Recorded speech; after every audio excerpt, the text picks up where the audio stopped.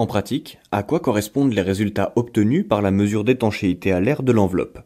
Pour une maison individuelle, par exemple, l'exigence réglementaire en neuf est de justifier d'une valeur Q4 de 0,6 m3 par heure par mètre carré au maximum.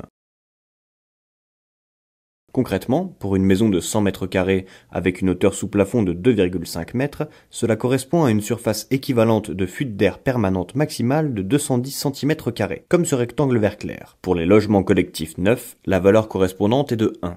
La surface correspondante, pour une maison passive, pour laquelle les exigences sont supérieures au niveau réglementaire, la surface tolérée est de 56 cm soit la taille d'une carte bancaire. Cela correspond à une valeur Q4 de 0,2 m3 par heure par mètre carré.